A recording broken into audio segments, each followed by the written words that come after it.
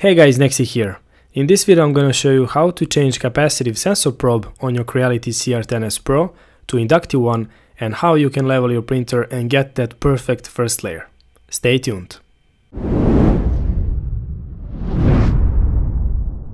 This is my CR10S Pro. It's a fantastic 3D printer with outstanding print quality. If you're new to the channel, make sure that you check my video review that I made recently.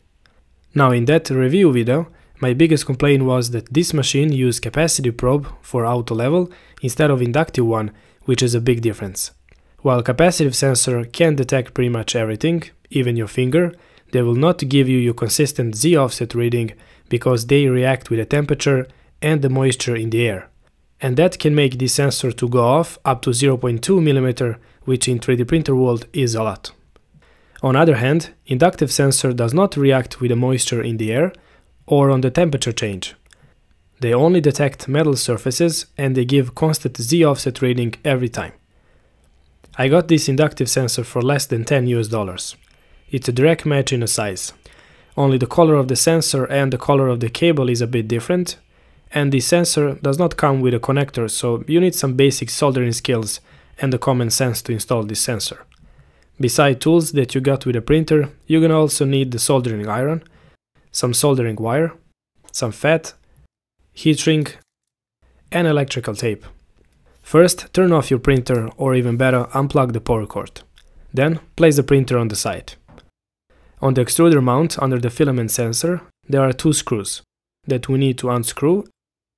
Next, there is one more screw underneath this metal cover that you need to unscrew as well. When you've done it, slowly take off the metal cover. Next, follow the sensor cable and unplug it from the board. Here's the closer look. It says Z- minus on it. On the inner side of the connector there is a small pin lock. Press it with your nail and pull it down. Now let's take a look on the wiring and on the connector. We have a two match color, black and blue. Next, cut the sensor wire approximately 10 cm away from the connector. Then take the new sensor, measure 55 cm of the cable from the probe and cut it. Next step, remove insulation and expose the wires of the sensor probe and then on the connector cable that we cut from the old sensor. Then place the small heat shrink on the each wire and one bigger one on the sensor cable. Next up is the soldering. When you're done, wires should look like this. Then place the heat shrink over the wires and apply some heat. I use this small torch. Next, slide the cable rubber insulation and the heat shrink on the place and apply some heat. Done. Now we need to take out the capacitive probe. There are two screws on the X carriage cover that we need to unscrew and one cable tie that we need to cut. Now gently take off the metal cover and place it on the side. Now we can see exposed hot end on the right side and the capacitive probe on the left side. It looks like there are no extra screws holding the sensor in a place, only two screws on the side.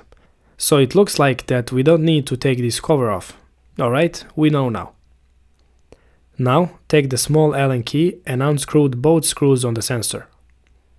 Now the sensor is free and we can drag it up like so.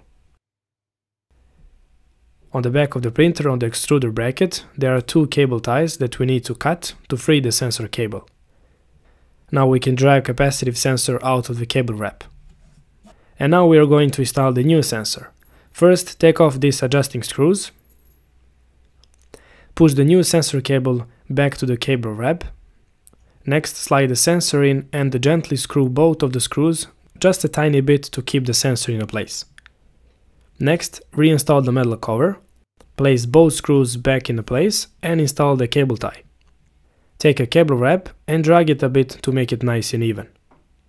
Now install both cable ties back in a place at the end of the cable wrap. This will prevent cables to get loose during printing. Next, plug the sensor back in a place. It's Z- minus in case that you forget it. Then reinstall the metal protector cover and screw down both screws on the top and don't forget one screw at the bottom. Now turn the printer on and take some metal object and place it under the sensor. If LED comes on when you place the metal object on it, that means the sensor is working correctly. And just to confirm that this sensor is the inductive one, so it won't detect your finger anymore, or any other object except metal ones. And that's exactly what we are looking for. Now drag your sensor to approximately the same height as your nozzle, as we need to adjust it first, and clean your nozzle from filament leftover. If you need to warm up the printer, do it, nozzle needs to be clean. Now go to the settings and click on leveling. Let your printer home first.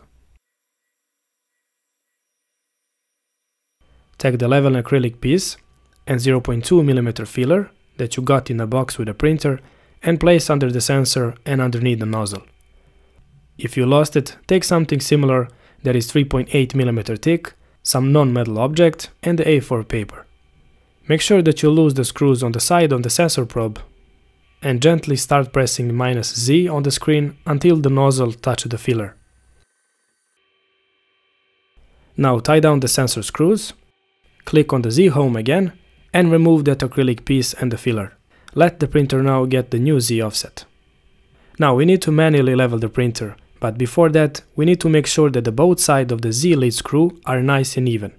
Take that acrylic leveling piece and place it under the right side of the X-axis extrusion. Now using your fingers, twist the both Z coupler until extrusion touch the acrylic part. Then level the left side. Both sides need to be leveled before you continue. Also, I want to point out that it is a good idea to heat up the heated bed to around 60 degrees and then run the manual and auto level procedure. Next, click on the manual leveling and click off the each number and manually level the printer using the filler and adjustment wheels. Run this process at least 3 times to make it perfect. Now go back and click on the measuring. Let the printer run through the leveling process. When it's finished, you will get the measurement similar like this and they are now saved in a printer memory. And now let's run some leveling test prints. I have already prepared this G-code.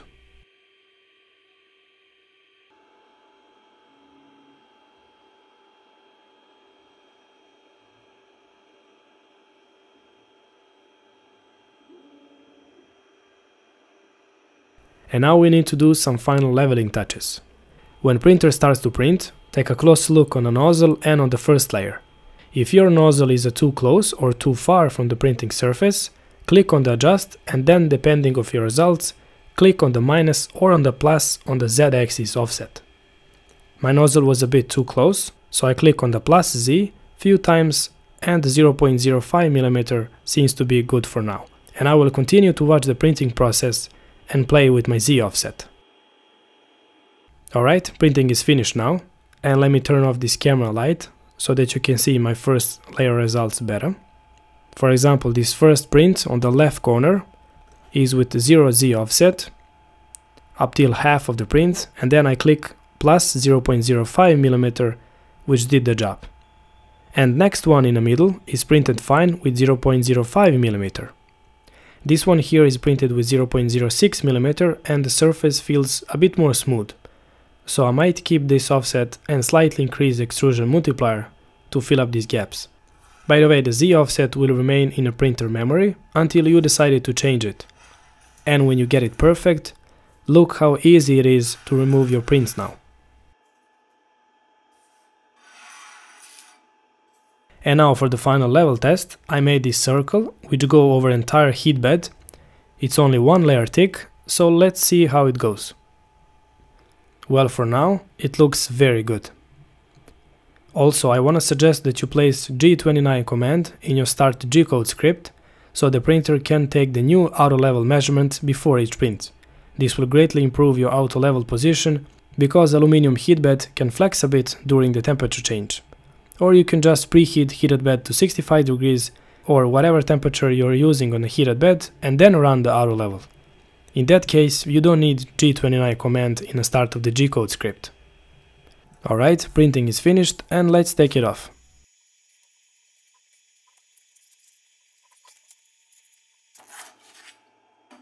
Well, I gotta say, it looks very good. Surface is a very smooth and even. Now that's the perfect first layer.